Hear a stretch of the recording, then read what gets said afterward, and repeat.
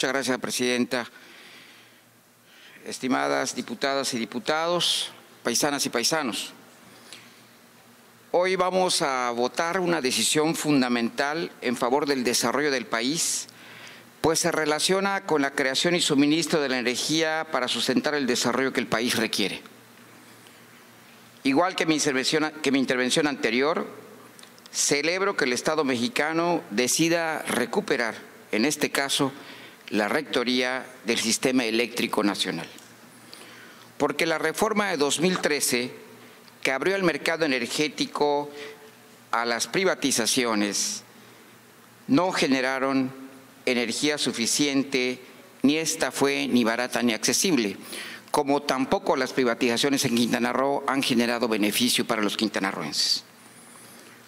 Por el contrario, el capitalismo de compadres se aplicó a las empresas paraestatales que lejos de apoyar el desarrollo del sector, se dedicaron a apoyar empresas corruptas de amigos de los que en ese momento gobernaban para succionar recursos y lesionar a la Comisión Federal de Electricidad con artimañas legales y contratos amañados de suministro o distribución. Estoy convencido de que las decisiones de la anterior reforma energética y su mala administración hoy tienen postrada a la Comisión Federal que enfrentará un reto grandísimo para salir adelante y encabezar los esfuerzos que se le encomiendan. Para tener en cuenta el tamaño de estos retos, es prudente recordar que en el periodo de enero a junio de este año, la Comisión Federal registró una pérdida neta de 74.8 miles de millones de pesos y su deuda aumentó un 14% comparada con el mismo periodo del año anterior. Es decir, aumentó en 58.2 miles de millones de pesos. Y por último, su deuda con proveedores y contratistas alcanzó su mayor nivel de los últimos años al, alcanzar 78.5 miles de millones de pesos. Sus quebrantos financieros no le han permitido invertir en la infraestructura eléctrica necesaria mientras que la demanda del consumo no ha dejado de aumentar. En el periodo de 2013 a 2018 se invirtieron 54 mil millones de dólares en la construcción de centrales eléctricas, mientras que en el periodo 2019 a 2024 solo se aprobaron 13 mil millones de pesos en ese rubro, de dólares en ese rubro, perdóneme, de dólares. Urge meterle dinero a la Comisión Federal de Electricidad para convertirla en la gran empresa nacional que todos necesitamos que sea. Soy un convencido de que privatizar bienes o servicios fundamentales para el desarrollo de una nación o de un Estado, en este caso como la energía eléctrica, no es la alternativa de un gobierno progresista. Estados Unidos y España evidencian los malos efectos o los efectos nefastos de la privatización en la energía eléctrica. Pero también fundamental es señalar que el tamaño del reto es tan grande que el Estado, para poder cumplir sus metas y aumentar la generación de electricidad, requiere facilitar la participación de inversionistas debidamente regulados y que participen con fuentes limpias de generación de energía para ayudar a descarbonizar el sistema actual.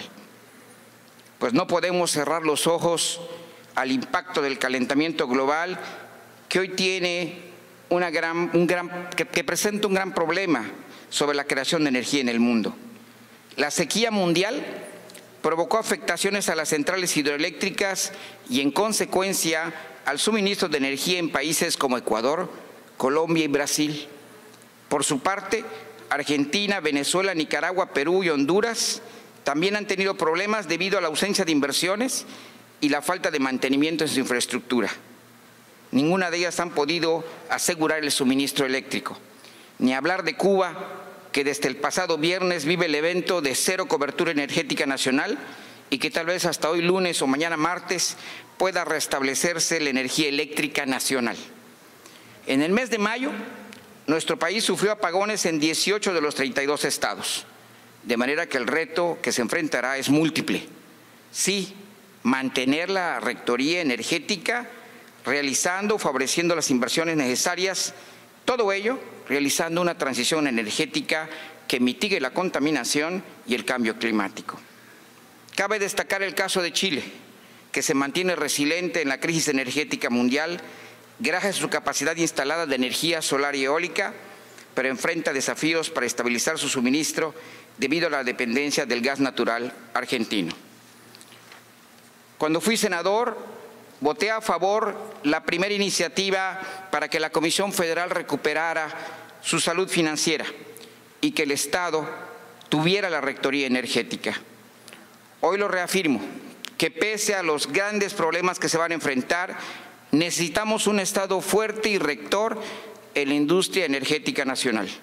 Necesitamos una Comisión Federal de Electricidad fuerte, haciendo bien las cosas, con suficientes recursos, produciendo cada vez con más energías limpias para darnos la energía que el país requiere y que todos necesitamos. Luchemos porque así sea. Por todo ello votaré a favor de este proyecto de decreto. Gracias, Presidenta.